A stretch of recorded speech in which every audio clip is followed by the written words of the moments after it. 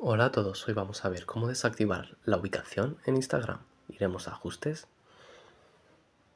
iremos al apartado de aplicaciones, gestionar aplicaciones y donde pone buscar aplicaciones vamos a buscar la palabra Instagram.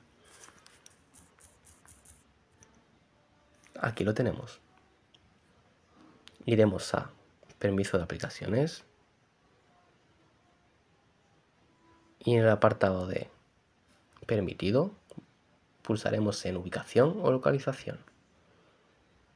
Enseguida pulsaremos en no permitir.